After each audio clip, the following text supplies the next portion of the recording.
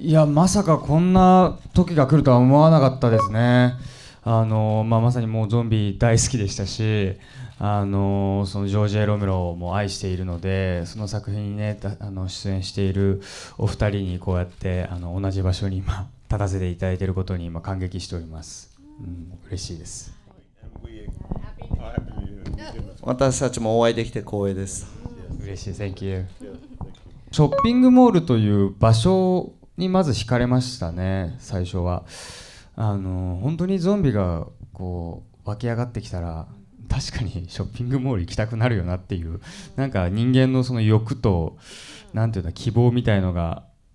そのショッピングモールという場所にこもっててでも結局最終的には絶望へと向かっていく中、まあ、まあ最後また希望に変わっていくんですけどなんかそういったうんと人間のすごい奥の底をなんだろう抽象的に描いているというかすごくゾンビってあの深いものを感じたんですよねそれを見た時にただただ人間の敵ではなく人間が人間をしっかり考えなければいけないというようなすごくメッセージ性のあるものをあのジョージ・ローメロは考えているのかななんて考えると非常にあのただ怖いとかグロティスクだで終わるものじゃないなというのを感じましたね。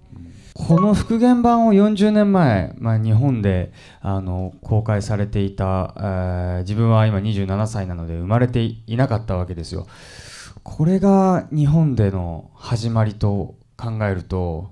もう見た時に40年前俺生きていたかったなってもう率直に思いましたね。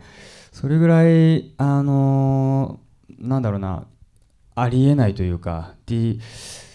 上映されるということがやっぱありえないので非常に嬉しい気持ちもありましたし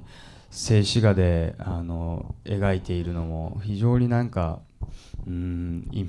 この現代で見ない手法なのであの新しくて新しいなんか逆に新しいなと思いましたしあの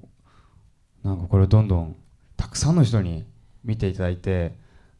感染させていきたいなと思いましたねもう一度ゾンビを。